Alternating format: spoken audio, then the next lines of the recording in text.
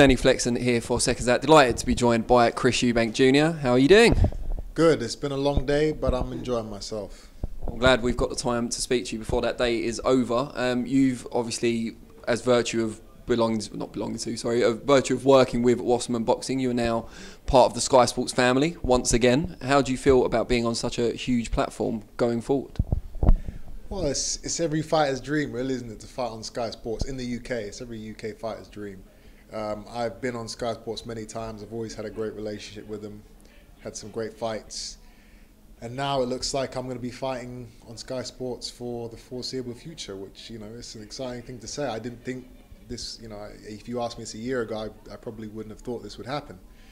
Um, so great opportunity. You know, they're pushing me, and they're really, you know, they're really behind me. They're really backing me on this one. So I've just got to produce the goods.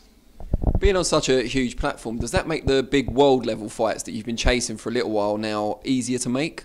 I believe so. Yeah. Now that we've got Sky Sports behind us, there's no reason why these mega fights can't happen within the next six to twelve months.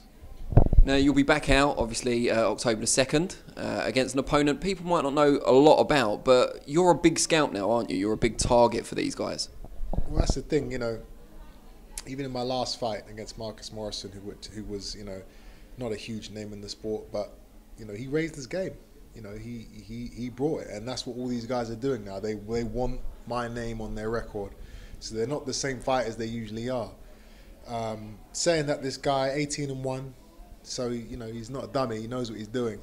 Um, tough, rugged German fighter. Um, you know the exact exactly the type of fighter that I need to to come off this long layoff with everything that's happened over the last few months. Um, it's a good. It's, a, it's the right fight to have for now, and uh, you know get through him, put on a good performance, and then a big big fight in December. What's it been like working with Kalle and Nisse Sauerland so far? Obviously, the, the powerhouses behind Wasserman Boxing. I've got a great relationship with them. You know, um, the Sauerland brothers, obviously, we go back as far as the World Boxing Super Series. We worked together in that, and I had a great experience, had some great fights. And, uh, you know, ever since then, we've kind of we've kept in touch, and, and now we're back together, partnered with Wasserman and Sky Sports. It's, you know, the sky's the limit. You know, it really is. How did you feel about um, Harlem being signed at the same time? It must be nice to have a member of your family also on the team. Awesome. Yeah, I didn't know. He kept it quiet, and then he just popped up in the uh, in the studio earlier, and I was like, "What are you doing?" He's like, "Yeah, I'm with you guys now." I'm like, "Beautiful." Um, yeah, Team Eubank, strong as ever, and uh, you know he's a great fighter with a lot. He's, he's he's got a lot of potential. He's a great talent. So hopefully they can push him. And talk at the press conference earlier, as it inevitably does, turn to future fights. Uh, you referred to Liam Williams as snaky, I believe, and Billy Joe Saunders as a rat. Uh, is there a bit of animosity with these domestic rivals? I think a bit of animosity is uh, is putting it lightly. Um, these guys need to be taught a lesson. Uh, Liam Williams is, you know, believe it or not, he's actually got a bigger mouth than Billy Joe Saunders. I didn't think it was possible, but he does, and he's been talking up for a long time. So it's got to the point now where I think I'm just going to have to go in there and teach him a lesson, shut him up. Um, Saunders is, you know, he is what he is. Uh, the rivalry is always there, and we will have to settle things within the next, uh, you know, within the next year or so. We'll probably get in the ring and and uh, and straighten things out. I know you might find Williams' baiting of you on social media impertinent. Is there a part of you that's quite happy about it because it builds another option for you as a big fight? Am I happy about someone talking shit about me every day on social media? Probably not. Um, but you know, does it does it add fuel to the fire? Does it get me going? Yeah. Um, so in that sense, uh, I'm not going to say it's a good thing, but you know, he's building the fight. He's built the fight. It seems he, he seems to have a very large following of people that want to see this fight happen. So um, he may get he may get what he wishes for, which is actually not what he wants. He doesn't realize it. He doesn't want to fight me, and he, he will understand that if we ever do get in the ring. But um, it would be an exciting fight just for the fact of our styles. He's a comfortable fighter, and I don't stop throwing punches. So it can't not be a fun fight for the fans. You mentioned Saunders as well. The last time we saw him in a ring was obviously that um, devastating loss to Canelo. Maybe a silly question, but one I want to ask. Did you have any sympathy for him at the injury that he suffered at the end? The the uh, the minor black eye that he he obtained while in a boxing match, which in which you get punched in the face. Was I, you know, was I sympathetic to that? I mean, the, of course not. The guy quit. Not only did he quit, he quit after disrespecting fighters who had done the same thing, Daniel Dubois. Uh, and he quit after saying that he would, you know, die in the ring. You know, you'd have to blind him and take out both his knees and his arms, and he still wouldn't give up.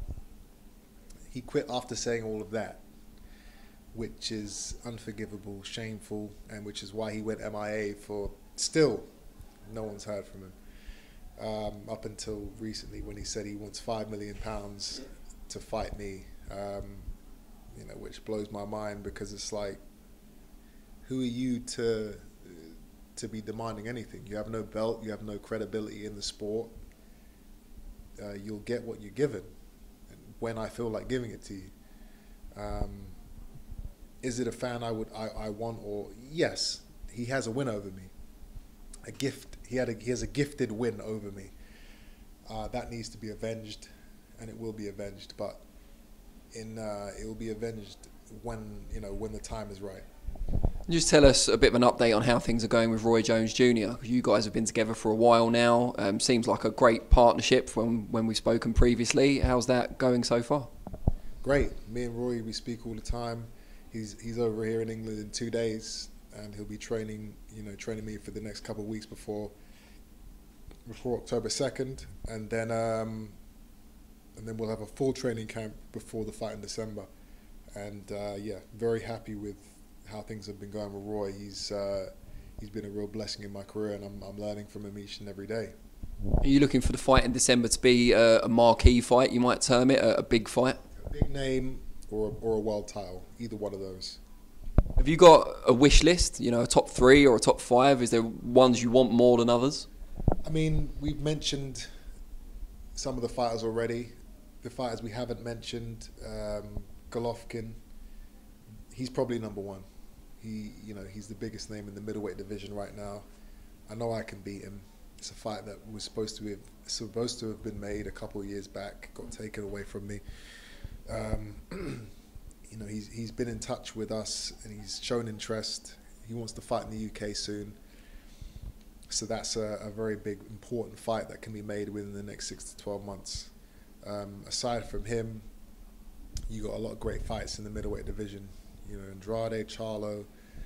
Um, I am supposed to be mandatory to fight Murata for the WBA super title. You know, I'm WBA interim, or I was. They took that title away and now made me mandatory. So, you know, I'm hoping that they can, they will enforce that and make it so that he has to fight me, and has to defend his belt. Um, so yeah, you know, it's it's, it's going to be an exciting 12 months. There's so many options, and we and now we're going to have it all on Sky Sports. Just finally, before I let you go, what did you make of that WBA decision to uh, eradicate interim belts and to make all the interim champions either mandatory contenders or into final eliminators for the, the normal belts or the regular belts? Um, I mean, you know, I, am I bothered about an interim title? No, you know, the only thing I'm looking at is the full world title. So the fact that it was taken away from me doesn't it doesn't really mean anything.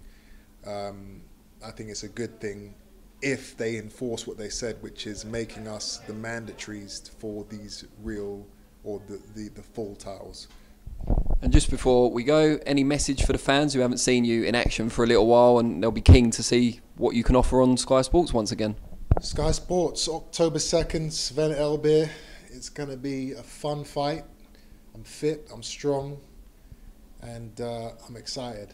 And uh, yeah, I'm going to stop this guy. Great, really appreciate your time. Thank you. Cool. Brilliant. Thanks, Danny. Cheers, Ed.